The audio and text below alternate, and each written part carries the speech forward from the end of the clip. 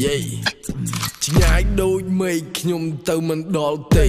ជីវិតលំបាកណាស់មិនចង់រស់ឲ្យយូរទេទៅធ្វើការគុំតក់ខ្យល់ក៏សក់ចូលហ្គេងអាពូម៉ាអានុឌឺគុំទុកចាំស្អែកស្ដាប់លោកឪនិយាយពីពលពតវាបញ្ជូនក្មេងទៅធ្វើការមិនឲ្យរៀនសូត្របនខ្មោចគ្មានស្មូតជប់លៀងគ្មានតន្ត្រីខ្ញុំសួរគាត់ថាចុះគេបានអីឆៃហត់ ទៅទឹកបបោដើម្បីយកធម្មពល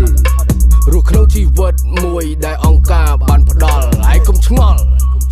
មិនសម្បូរមនុស្សស្លាប់ឲ្យរស់យូរយ៉ាងម៉េចបើគ្នាមកតបអង្គមកក្តៅឆ្ងាយដូចមេឃខ្ញុំទៅមិនដល់ទេជីវិតលំបាកណាស់មិនចង់រស់ឲ្យយូរទេទៅធ្វើការគុំទាត់ខ្យល់ក៏សក់ចូលហ្គេងអាពូម៉ាអានុឌឺគុំទុកចាំស្អែកអើទុកមកវិចារតែយ៉ាង ណាបើជាមិនស្ដាប់រឿងនៅមានច្រើននៅតែឆ្លៀតចង់ស្លាប់